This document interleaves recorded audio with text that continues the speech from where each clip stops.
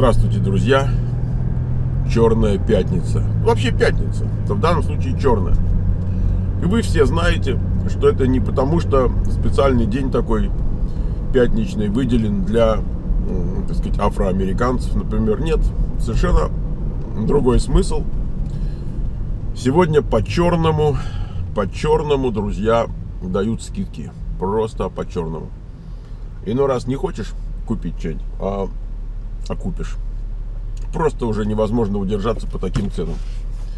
Э, раньше черные пятницы, так сказать, в нашу бытность начинающими американцами,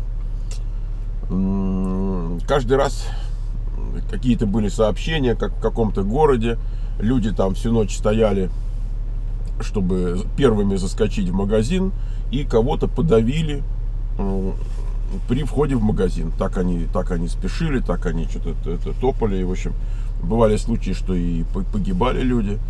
Вот. И это как бы становилось таким национальным бедствием. Ну, не то, что прям уже бедствием, бедствием, но ну, безобразие, конечно. Из-за чего, собственно, люди погибают. Идиотизм. Но они еще заранее, знаете, заранее объявляли. Вот столько-то телевизоров, уйдет там за полцены каких-то там модных, сколько-то уйдет там чего-то. И вот надо было прибежать и сразу двигать там в тот отдел магазина, который, ну, надо.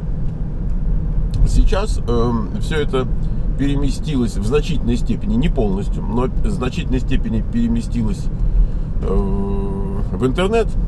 И там, мало того, там не только один день они, эти скидки, а там целый месяц торгуют с этими скидками. И как бы вот, как бы черная пятница превратилась там в черный ноябрь, можно так сказать. В общем, друзья, если человек хочет что-то купить со скидкой, то возможностей у него много. Возможностей много. Вам с удовольствием продадут со скидкой. Я уже не говорю о том, что если раньше вот такая черная пятница, это был один день в году, и если ты в этот день не купил, то значит ты в этот день не купил. Сори, то может быть ты в другой не купил.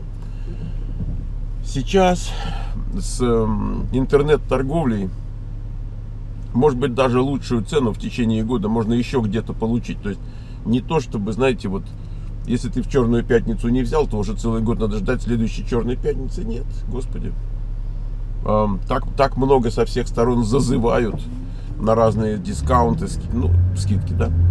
Эм, вообще система скидок, если так мы на нее в целом поглядим, конечно, люди на праздники подарки там всякие покупают, ну и вообще какие-то расходы есть, связанные с праздниками. Поэтому это то самое время, когда те, кто производит оптовики, оптовики дают э, какие-то скидки, значит, розничной торговли, розничная торговля спускает какие-то скидки вниз, значит, людям, и это все заранее готовится и так далее. И есть некоторые приоритеты, что ли, вот в этом во всем. То есть э, есть, конечно, очень мощные распродажи, связанные с э, Крисмосом, Рождеством и Новым годом. Вот в этот момент. Люди покупают подарки. Принято дарить подарки, они покупают подарки. Потом как-то так получается, что люди перегружены немножко уже расходами. И если вы хотите что-то продать, например, в январе, то вы тогда должны тоже какой-то такой еще лучший, может быть, сел предложить, распродажу. Это будет после рождественский сел. Самое интересное начинается в феврале. В феврале уже кредитные карты нагружены до нельзя. Тут мне прям ух под, подогревает тут да нельзя нагружены, и уже, уже точно никому ничего не надо. И вот тогда начинаются вообще самые шикарные распродажи, это февраль. Никто не кричит об этом сильно, но если вы так понаблюдаете, скажем, динамику цен, то вот вы увидите, что в феврале, когда уже совсем падает вот эта вот покупательская активность, то в феврале, может быть, даже еще там больше можно сэкономить. Есть люди, для которых эм, возможность там, ну, купить дешевле на 30, 40, там, иногда 50 процентов, это единственная возможность купить вот то, что, вот, допустим, для них что-то такое заветное, потому что у них просто нету денег. Это, это правда. Эм, но вот, например, Кремниевая долина, да, Тут более-менее у людей есть деньги. Но это уже такая спортивная начинается э, деятельность, такая активность. Знаете, вот уже не, не так важно, что он там сэкономил там 50 долларов там, или даже 100, а сколько важно, что ну вот как-то вот поучаствовал. Да, вот как в Олимпийских играх. А, главное не побеждать, а участвовать. И вот это примерно такого же плана. Ах, хорошо. Так, так мне кажется, я не знаю. У меня Светлана очень любит э, готовить в таких мультиварках. И у нас есть мультиварка, мы иногда на дачу, когда едем, мы с собой берем иногда. И вот. И так она стоит, там, не знаю, 100 долларов. Ну и сейчас она мне говорит, ты знаешь, говорит, вот эта мультиварка там за 65 продают, вот э, Black Friday. Говорит, я тогда возьму прям, пусть на даче уже стоит, чем ее возить-то будем, понимаете? И не то, что там 30 долларов для нас какое-то в жизни имеет значение, честно. Но, ну вот так психологически устроено, понимаете, что цепляет. Цепляет. Вот, ну, значит, так и, э, и приобрели сегодня. Я надеюсь, там она тоже где-то в сети покупала, не, э, не, не надо было ехать в магазин. Нет, так, чтобы в магазин ехать, конечно, уже сил нет. Вы спросите, а куда же ты едешь, Михаил Петрович, в нерабочий субботний день, когда вся страна делает шопинг Куда я еду? Я еду в офис, друзья. Почему я еду в офис? Потому что люди приехали поговорить из Сан-Диего. Знаете, специально приехали из Сан-Диего поболтать. Там какие-то у них вопросы жизненные. Я думаю, ну ладно, раз такое дело. Что же, поедем в офис, поболтаем. Заодно посмотрим, как там в целом.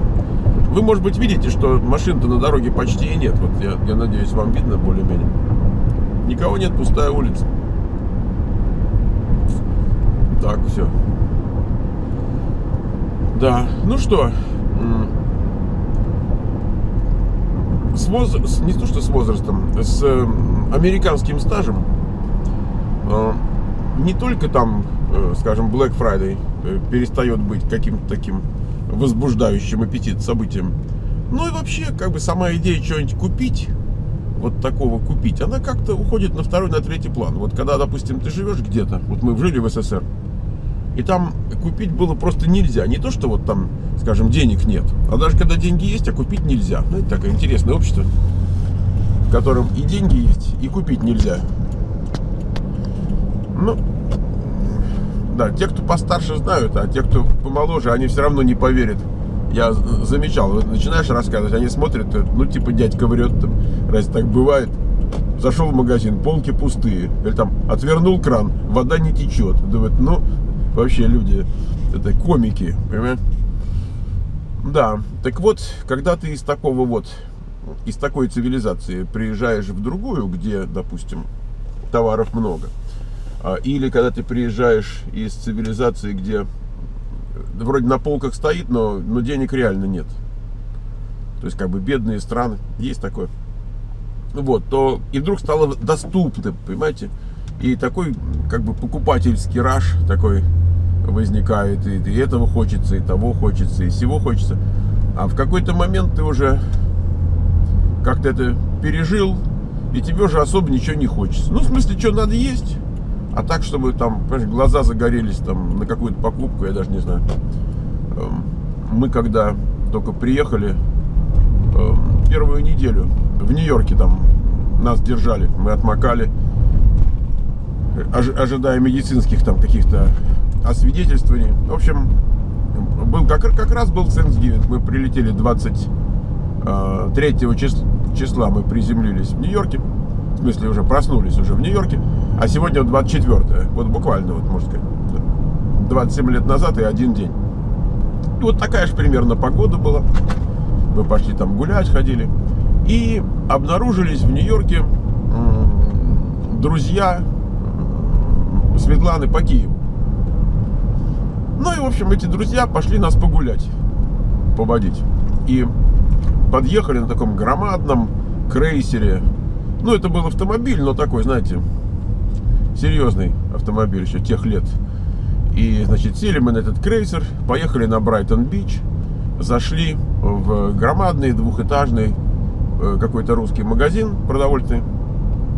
И там было такое изобилие, знаете, ну, для нас, которые приехали из страны с пустыми полками, а даже когда полки не были пустыми, там за несколько лет до этого, все равно это было очень, это было очень впечатляюще.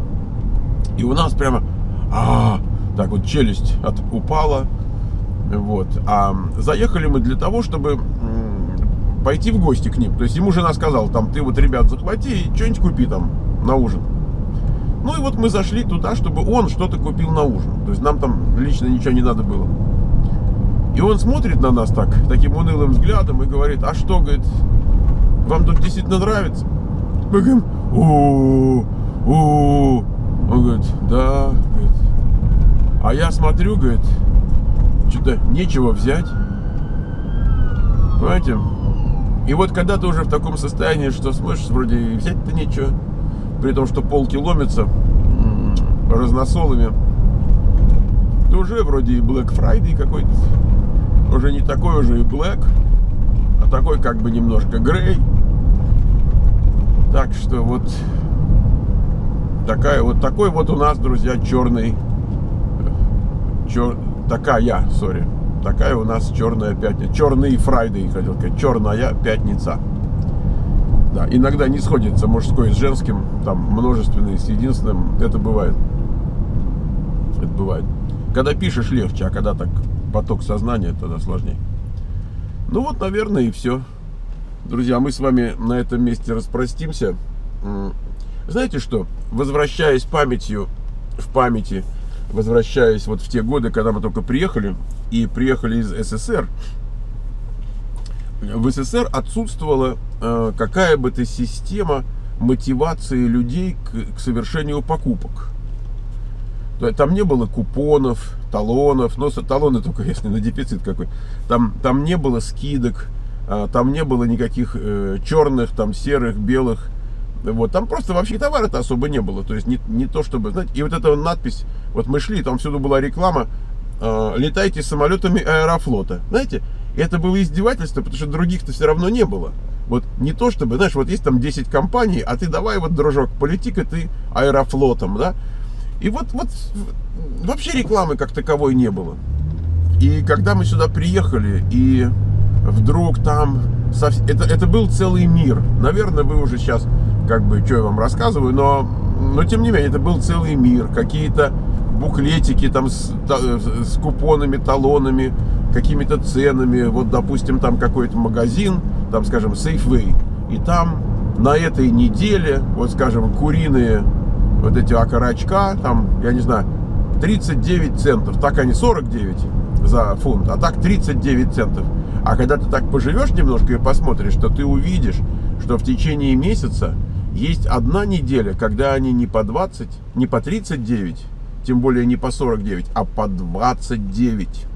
Знаешь, и вот, ну то есть с точки зрения тех, кто рекламируется, люди придут, чтобы купить по 29, и уже на всю неделю затоварятся. Но это же не то, как вот начинающий иммигрант. Он в одном месте пришел, время есть, пришел, взял то, что там по дешевке, пошел в другое место, взял то, что там по дешевке и так далее. Это американец там на неделю сразу закупается.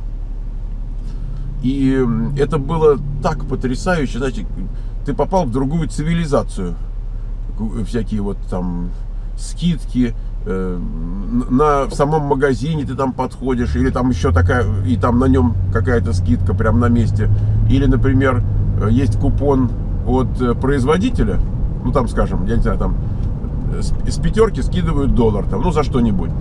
Вот. А еще в магазине говорят, а мы удваиваем купон. Вот если ты пришел с купоном от производителя, то мы тебе еще от себя такую же сумму даем.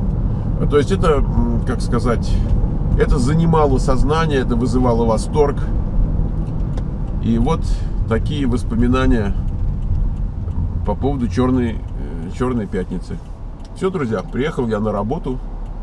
Вот у меня черная пятница, у всех выходной, а я на работе.